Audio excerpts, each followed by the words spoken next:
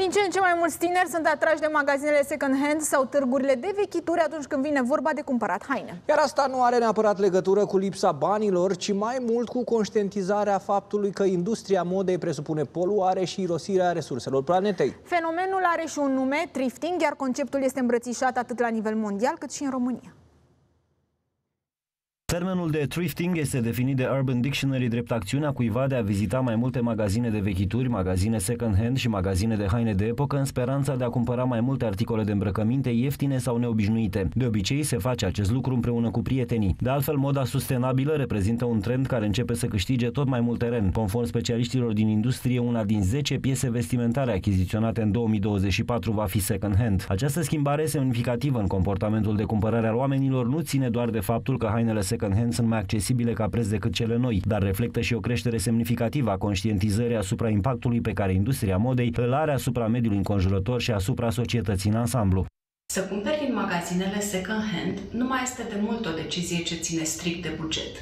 Într-adevăr, poți cumpăra haine de calitate la prețuri foarte atractive, dar decizia publicului, în special a tinerilor, ține acum din ce în ce mai mult de rațiuni etice. Vlogurile de thrifting se bucură de mare succes în străinătate. Cei care merg la cumpărături descriu fiecare pas pe care îl fac în alegerea unor ținute. Good feeling. I feel like we're gonna find some heat. So even if we don't, I just love thrifting in general. But we're here to find that heat. So let's go get it. All right? Let's do this. Let's do this. Oh, that is so good. That that coat was made for you. So good. It's in beautiful condition. It's very good.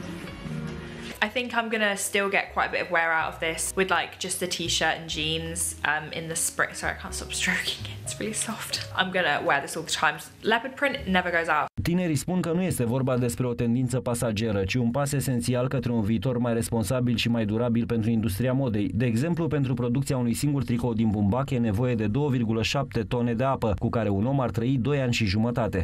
Ei știu că producția de haine noi implică utilizarea unor cantități mari de apă, energie și resurse naturale, precum și emisii de carbon. Apoi, achiziționarea hainelor second-hand ajută și la reducerea cantității de deșeuri textile. Cu fiecare piesă de îmbrăcăminte second-hand cumpărată, evităm în medie emisia a 3 kg de dioxid de carbon aferentă producției unei noi piese vestimentare similare.